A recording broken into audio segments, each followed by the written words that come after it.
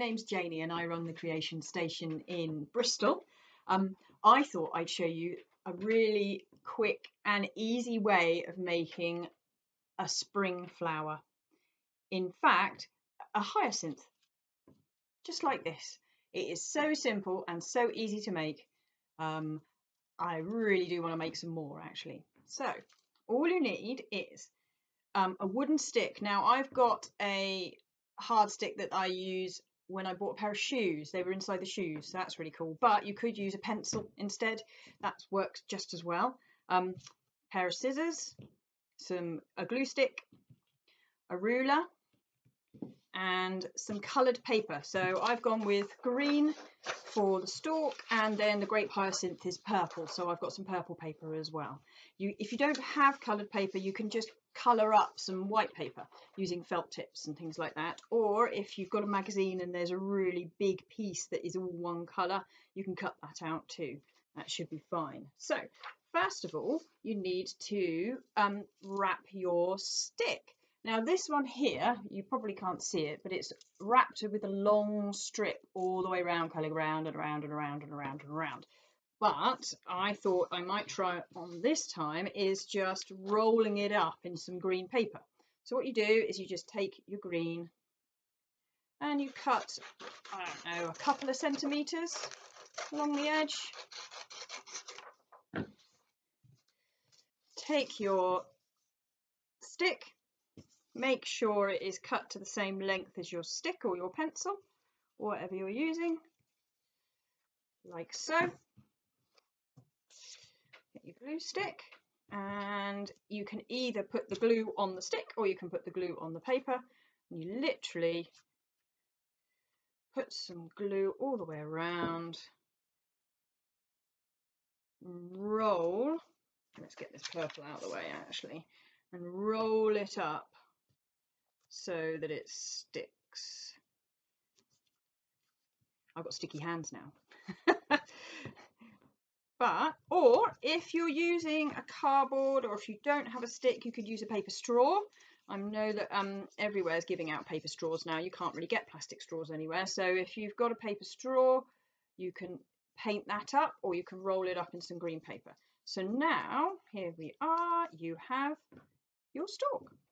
Okay, then for the top of the flower, let's put that aside, you take your purple paper and you measure 10 centimeters across. In fact, you actually need to measure 11 centimeters and you do a firm cutting line so that you can see it at 11 centimeters. Then you just do a very faint line at 10 and you'll see why in a moment. So faint line at 10 and then just a really faint line at 10 and a solid dark line for you to be able to follow with your scissors at 11 okay? Then this is the really interesting part. You cut off at the really solid pencil line.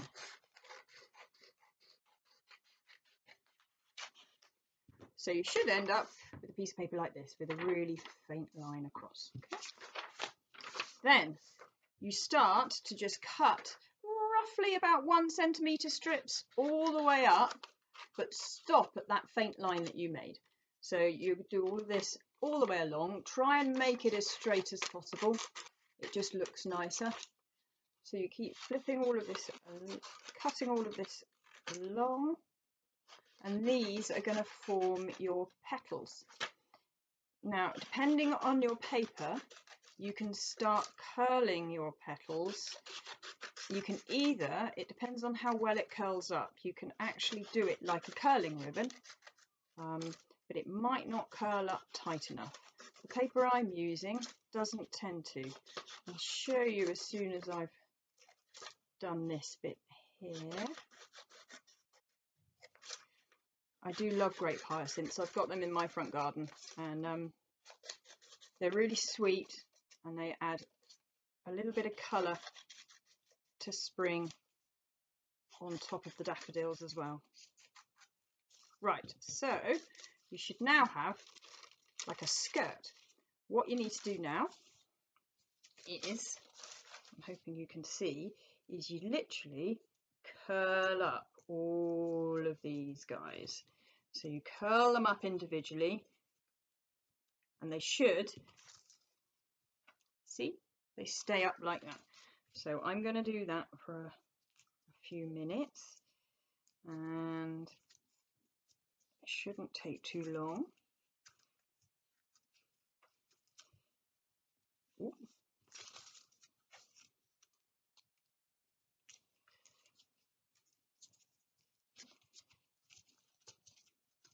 They remind me of something, these curls. I can't think what. I'm going to think of it in a minute.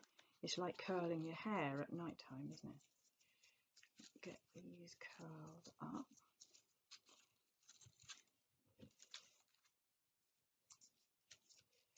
Now, as I said, you could also actually try making these flowers just by finding, you know, all of the magazines that come out through your door you know, all the ones advertising pizza or a local food store and things like that. You could actually cut a page out of a magazine um, and actually create the petals using that. If you pick one of the most colourful of the pages, you could actually have a really colourful hyacinth plant.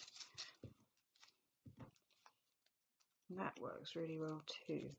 I'm just happen to have some coloured paper hanging around. Mostly I only have coloured card, so this is good that I've got paper. Let's flip this up. Nearly there, only a few more left to go. This is where I need a little uh, thing that speeds up the camera, don't I? Then, almost there. More. Now you probably noticed on my one that I stuck some leaves on the bottom. Um, that's great and I thought that looked wonderful but then I realised you can't pop them in a vase or anything can you after you've done them? Because you could make a load of these and you could make a little bunch a little bouquet out of them. But um there we are so. Okay so now you've got all of the little ones all curled up. What you do is you take your stalk. Okay, and you put some glue on the end of your stalk first of all, and then a little bit around the top. Really go for it if you need to. You could use white PVA glue if you need to. You just need to make sure it's kind of tacky. Leave it out for a little bit to dry and it actually dries up a lot quicker as well. There we are. So then you've got your hyacinth and you put the top one on the top so that it sticks up. Then you start wrapping this around your stick. As you can see, it's already starting to look like a hyacinth.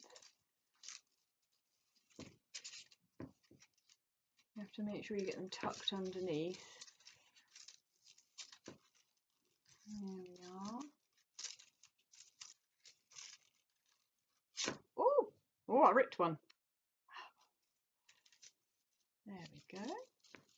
And then a tiny bit of glue, quite a bit of glue, as much as you like really, as long as it sticks, onto the end. And there we are. So make your stalks move around a little bit, make your petals, sorry, move around a little bit so that it looks a little bit more frilly. Maybe roll them up a bit. I came back to mine, I did this one last night and I came back to it and I had to re-roll it because paper kind of like stretches out. But there we are. So you could always, what I did with this one is I just cut out some long green strips and stuck that to the bottom as well to make the petals. But now I'm really pleased because I've got a little bunch of hyacinths sitting there. I hope you enjoy trying out your flowers, maybe even try some different ones that you can do with different coloured paper.